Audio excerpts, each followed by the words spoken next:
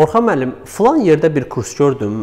Deyirlər ki, bizdə ingilis dilini 40 gün öyrədəcəklər və çox intensiv kursdur. Yəni hər gün saatlarla məşğul olacağıq. O şəkildə məşğul olsam ingilis dili öyrənə bilərəm. Bu tipli sualları çox alıram. Gəlin buna bir cavab verək dostlar. Bəzən mənim sizə öncələr izah etdiyim bir Cambridge-in şkalası var idi, xatırlayırsınızsa, dil öyrənilməsi günlərə, aylara, həftələrə görə deyil, işlədiyimiz saatlara görə olmalıdır. Və orada siz xatırlayırsınızsa, məsələn, sıfırdan beginner işləyən tələbə 100 saat çalışmalıdır, elementary istəyən 200-250 saat, e, intermediate çatmaq istəyən 500-600 saat s. Və bəzən tələbələr mənə bu sual verir ki, Orxan müəllim, yaxşı, siz deyirsiniz ki, 500-600 saat intermediate çatmaq üçün biz gərək ən azından bir 10 aylıq praktika eləyək, işləyək, düzdürmü? Olarmı ki, mən gündəlik işlədiyim saatların sayını artırım? Məsələn, bir gündə 10 saat işləyim və 10 gündən sonra beginner səviyyəsini bitirim. Dostlar, baxın, nəzəri cəhətdən təbii ki, mümkündür. Amma belə işləmək tövsiyə olunurmu sualını verəndə mən tövsiyə eləməm. Birincisi, mən %100 bilirəm ki, hər 100 tələbə ki, özünə söz verir, mən sabah 10 saat ingilis dili çalışacağam, onların 100-ündən 99-u bunu görməyəcəklər. Yəni, etməyəcəklər bu işi. Niyə görə? Çünki onlar, necə deyərlər, öz psixologiyalarının hərəkətə xəbərləri yoxdur ki, bu işi görmək üçün onların resursları yoxdur. Həvəs, motivasiya, səbir və s. və s. Baxın, adicə 1 saat işləməyə bu günləri %90 insan müxtəlif bəhanələr axtarır ki, işləməsin.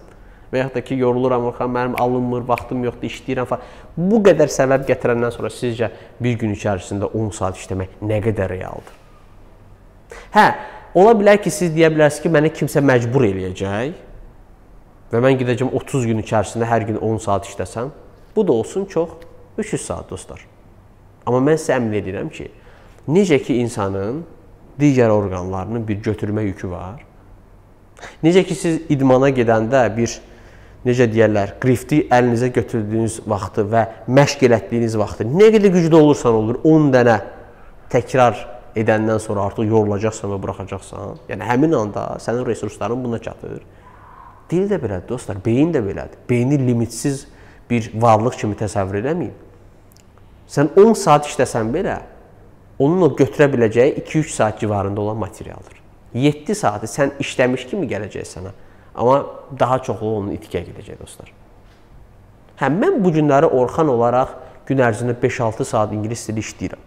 Amma mən bunu artıq sizin kimi ya 10 saatlıq dil öyrənmək kimi istifadə etmirəm dostlar. Mənim artıq həyat tərzimə çevrilib. Çünki mən məqaləmi də ingilis dilində oxuyuram, kitabımı da ingilis dilində oxuyuram, kitabımı da ingilis dilində baxıram, dərslərimi də ingilis dilində. Bu artıq mənim həyat tərzi. Beynim mənim sənin 10 saat işləyəcək, işləyəndə yoracağın qədər mənim beynim yorulmur onda. Aydınmı dostlar? O nəticəni ala bilməyəcəksiniz. Bu dəqiqdir.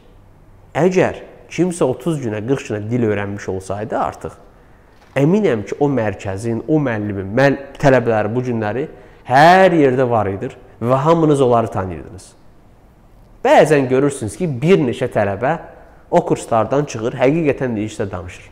Mən sizə əmin edirəm ki, o tələbə əgər dürüst, səmimi olsa və siz onu yoxlasanız, yəni cavablara doğru cavab versə, bilərsiniz ki, onun arxasında aylarla, illərlə başqa çalışmalar vardır.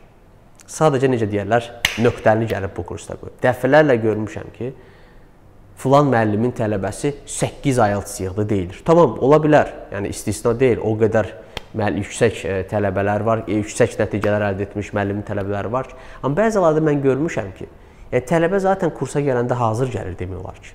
Və onun üzərində bir neçə ay işləyib 8 yığdı, hə mən bunu 8 yığdım. Bu doğru deyil əslində. O tələbənin burada əksər əziyyəti özü çəkir. Burada da belədir dostlar. Yaxşı nə məsləhət görürəm? Məsləhətim budur ki, dostlar. Ümumiyyətlə bu tez öyrənmək alışqanlığını, vərdişini, istəyini unudun.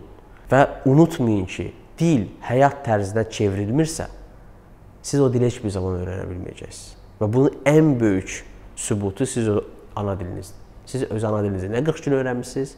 Halbuki 40 gün içərisində nəinki 10 saat işləyirdiniz, 24 saat yatmağa çıxsaq ən azından 17, 16 saat siz o dili işləyirdiniz. Bəs niyə tez müddətdə öyrənmədiniz?